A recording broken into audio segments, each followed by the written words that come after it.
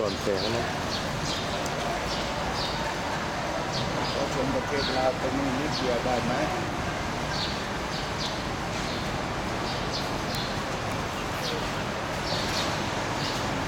แค่จะเดินไปเนี่ยเหรอน่าจะเป็นตรงนี้